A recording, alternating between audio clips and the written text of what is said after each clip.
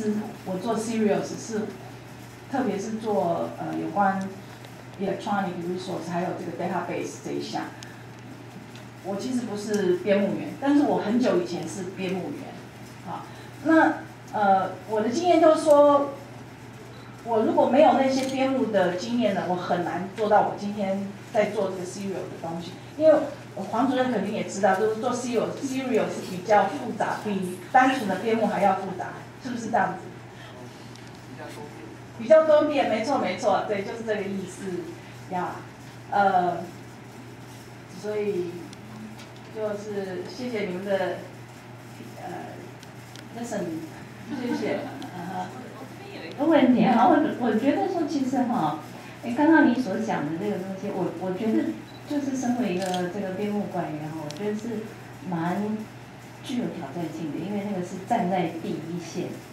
那呃编好的话，事实上呃读者的话就是。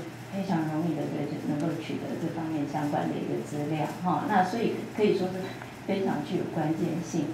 那当然，在做这些这个呃编目的工作的话，也必须要有一些依据。那我刚看你在做 presentation 的时候，好像有一些 testing library library 是不是？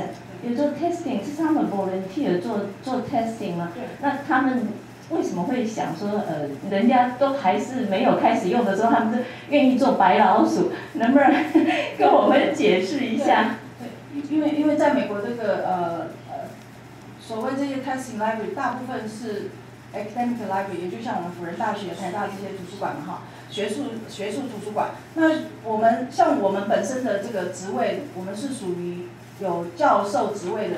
这这这种 rank，那你要达到做教授职位的 rank，有些学校要求图书馆员你要会你要写 research paper，那那还有你要做很多的 presentation，像这样子的东西，所以这就是促使很多的图书馆他们需要不断的更新自己的知识，他们就是要去找材料，就像刚才那位老师讲，你自己去找材料，呃，来来做来写来报告。